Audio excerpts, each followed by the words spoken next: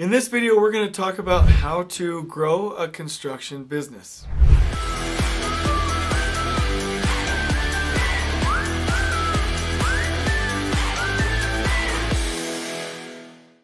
And what are some of the most common roadblocks to growing and scaling your business? What are the eight things to watch out for? And what can you do to not get stuck? We're going to cover that right now. So I want to connect with you here as I begin. So we get to work with so many construction companies. We actually, in some instances, really run their construction company, at least for the operations standpoint and the business standpoint, for them. And I have a lot of experience for this, uh, not only being a director, uh, but participating in family construction companies and in consulting. And I can tell you, most of the wonderful, wonderful human beings that I talk to reach a point where they get stuck. And at that point, there's always a key a component missing from their business. And the people that are running their businesses, they're great. They started their business. They were the entrepreneur. They stepped out and took the risks. They're the subject matter expert. They're the artist. Like, they're the jam. Like, they're amazing people but they're stuck. And I love, love, love doing the research And some of the best business books that I've been able to find and the best business trainings that I've been able to attend, the actual answers to what component is missing. And there's a common theme, and we're going to share that with you now. So I do want you to know that if you are a business owner and you feel stuck, this video is a jam. If you are in business and you're tired of fighting fires, this video is for you. If you're in construction and you just feel like there's got to be a better way and you want to take care of people, please listen up. I'm going to give you some great resources and references. So let's do this. Number one, this is the most important, and this single truth weaves itself through every business that I've ever seen. And there's two good books on it, which I'll also link to in the description below. But there's a book called Traction and there's a book called Rocket Fuel. I highly recommend both of those books. Now, when you first read those books, you might be like, I'm not ready for this. Great, read it. Come back to it in a couple years, you're fine. I have read uh, books by Patrick Lencioni, uh, Jim Collins. Um, obviously, these books are by Gino Wickman, right?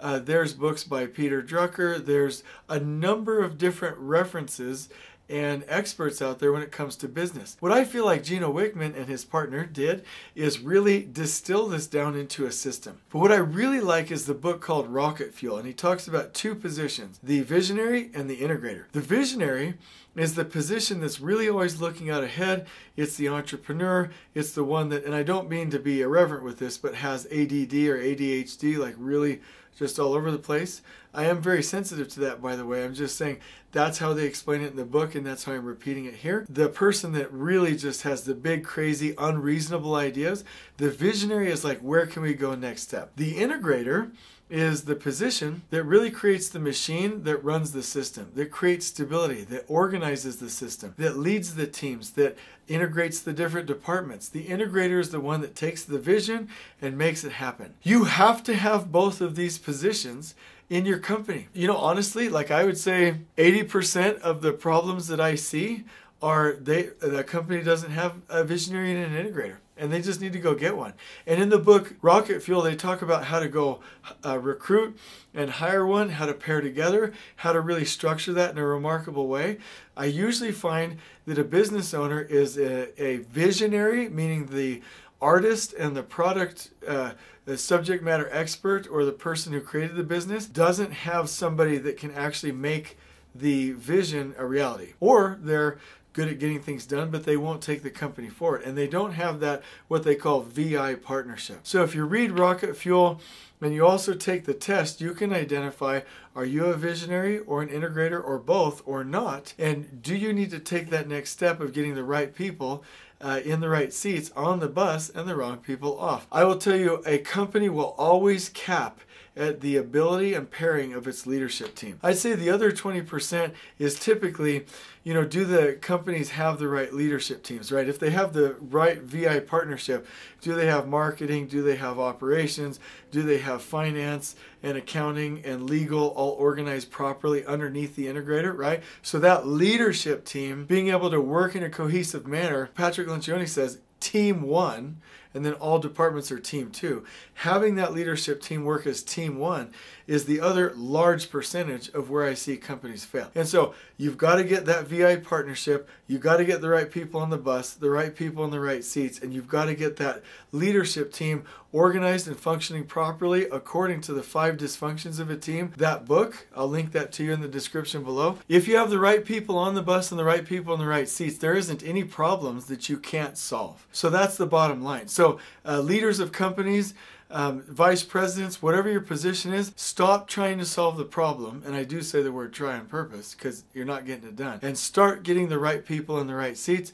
Your number one metric in a successful company is the percentage of the right people in key seats. Focus there first. So, number two, in the right seats. So, I've talked to you about this before, but I will say, how do you analyze whether people are in the right seats? Well, so that's a fantastic question. Some of it comes from experimentation, some of it comes from personality profiles, some of it comes from understanding their background and education, but it really comes from uh, does that person have that position as a part of their red zone? Do they like it? Are they good at it? And can they make money at it? I love the book Beyond Entrepreneurship 2.0 because Jim Collins basically says this In their position, how have you felt about their performance in that position in the last six months? Has your confidence increased or decreased? Do their abilities really fit with that position? Does success in that role if it was done right, mean a large financial gain for the company. And are you or are you not realizing that? In that seat, is there a high potential for risk if done improperly? And is that actually happening, right? So there are specific questions that you can ask yourself about whether or not a person fits in that role. I would also recommend using the cultural index